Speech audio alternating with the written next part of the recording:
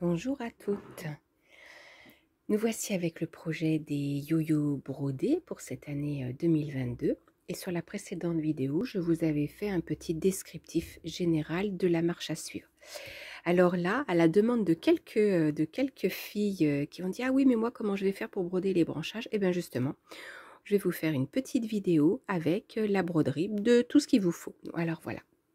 Donc on va commencer par les branchages, justement, on va commencer par ça. Là, il n'y a pas d'ordre, hein. vous pouvez faire un petit peu comme vous voulez. Je vous rappelle qu'avec la règle, il fallait tracer les diagonales, les quatre, donc tout autour euh, du bloc. Et alors, quand on ne sait pas trop comment s'y prendre, en fait, eh ben, vous vous faites des petits repères. C'est-à-dire que là, ici, hop, ce sera notre première feuille qui va arriver de là à là. Et puis ensuite, vous vous tracez un petit trait de chaque côté correspondra à l'emplacement des feuilles. Hein. Donc hop, on dit que là, ce sera la première. Toc, toc, toc et toc. Et ensuite, c'est parti pour broder. Donc là, j'ai pris une petite laine que j'appelle les brumes parce qu'elles euh, elles sont très très euh, pleines, de, pleines de mohair, très vaporeuses.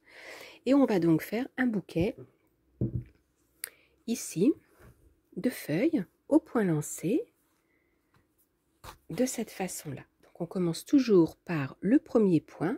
On va donc sur la nervure centrale. Et ensuite, on sort l'aiguille à gauche. Vous revenez dans la nervure et ensuite, vous sortez l'aiguille à droite. De cette façon-là, voilà une première feuille. On se rend directement à l'emplacement de la deuxième et de la même façon, le premier point central long au milieu. Et ensuite, un petit peu plus bas à gauche, un plus court. Un petit peu plus droit, plus court, pardon, à droite. Et on descend dans la feuille. On essaye de rester très très souple dans la broderie. Ça sert à rien de serrer. Et c'est surtout que c'est beaucoup moins joli. Hop, le premier point. Il est long, on descend je redescends. De cette façon, on se rend en face. Un grand. Hop, là vous voyez, j'ai un peu trop serré. Pouf, allez. Un petit à gauche, un petit à droite.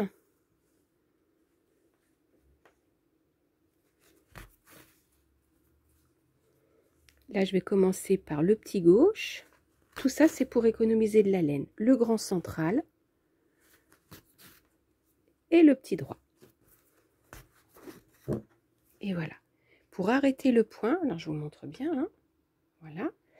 Pour arrêter le point, vous tournez et vous glissez, en fait, entre la toile à beurre et le tissu et vous coupez.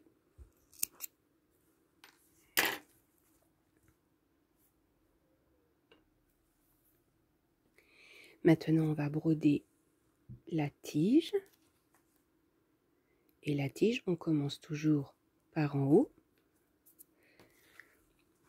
Donc, je me mets dans le bouquet, à peu près au milieu de la feuille. Je fais un grand point lancé en me dirigeant vers le trait central, qui est donc notre tige.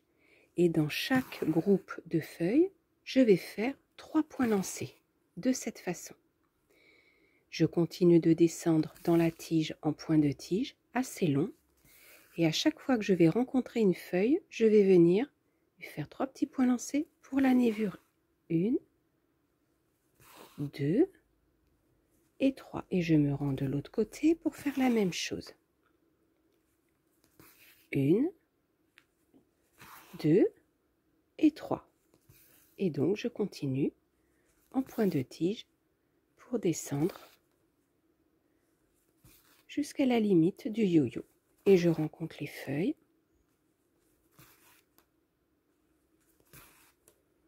que je raboute à la tige en faisant les points lancés, donc trois points lancés pour les feuilles. Donc vous voyez une aiguillée avec un petit fil lamé et un petit coton perlé.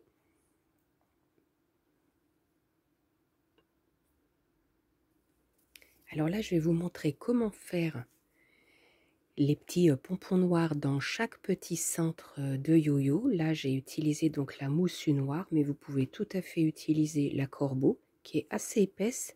Mais la corbeau, il y a trois brins à l'intérieur, donc vous pouvez la désolidariser le faire un petit peu moins épais. Il se trouve que la moussue, elle est bien parce qu'elle glisse très très bien. Vous allez donc transpercer. C'est ça le, plus, euh, le plus difficile, on va dire. Hein. Donc, vous allez transpercer le centre du yo-yo en essayant d'éviter les plis du yo-yo parce que c'est ça qui va faire trop d'épaisseur. Et ensuite, vous allez tourner pour faire un point de nœud autour de votre aiguille, mais vous allez tourner entre 8 et 10 fois. 1, 2, 3, 4, 5, 6, 7, 8, 9, 10. Hop. Et vous vous remettez dans le trou pour transpercer. Vous maintenez bien l'ensemble. Et vous voyez, j'ai pas eu trop de difficultés. Et là, vous tirez de cette façon-là. Hop, je vous remontre à côté.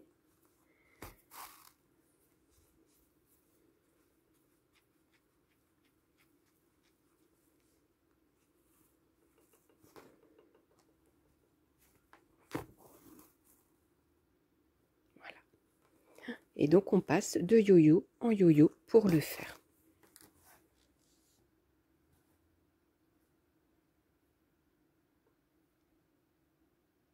On va maintenant procéder au petit point de nœud qui se trouve tout autour de la rosace de yo-yo. Et pour ça, vous allez utiliser un petit pétale. Alors, vous pouvez utiliser, ben là, on va prendre du violet parce que je ne l'ai pas encore mis dans les autres. Donc, du coup, je vais utiliser le violet qui va très, très bien aller avec ça. Pour vous simplifier la vie, il faut mettre un point de nœud au-dessus du yo-yo un à gauche, un à droite, un dans le creux. Donc vous pouvez vous faire comme ça des petits points pour vous repérer.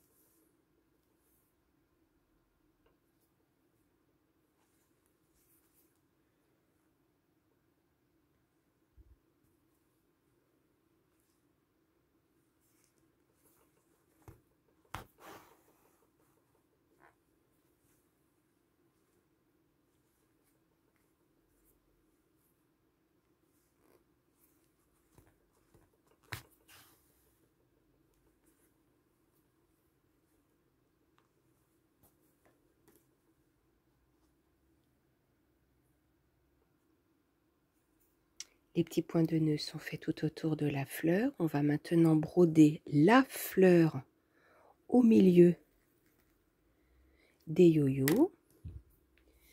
Donc pour ça, on va prendre un petit peu de salsa, qui est un ruban de coton qu'on peut largement étirer pour faire les pétales, de cette façon-là.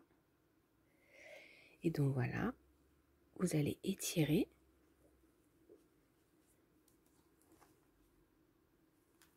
avec votre pouce qui fait un petit peu comme un fer à repasser. Vous faites un point de ruban. Donc on fend le ruban en son milieu de cette façon. Et là, je me rends donc pile en face. Et on va faire une fleur à 8 pétales, puisque comme ça, il y aura un pétale en face de chaque yo-yo.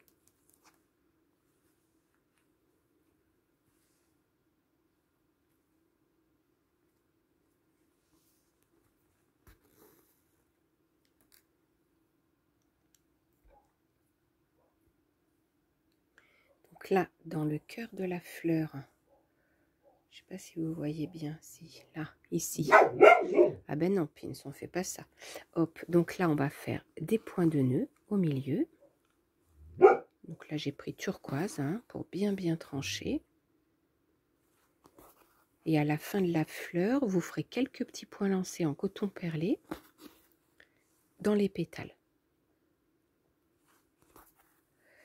Alors là, j'ai un pétale qui s'est un petit peu rétracté. C'est pas grave, on le prend.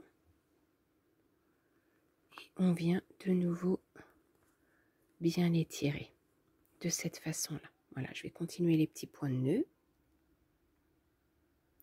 Et bien voilà, le petit cœur de la fleur est terminé. L'ensemble est terminé. Vous pouvez éventuellement rajouter une petite pointe de fil fin à l'extrémité des feuilles Mais c'est déjà pas mal. Donc là, hop, vous voyez, ça va faire un très bel effet. Voilà.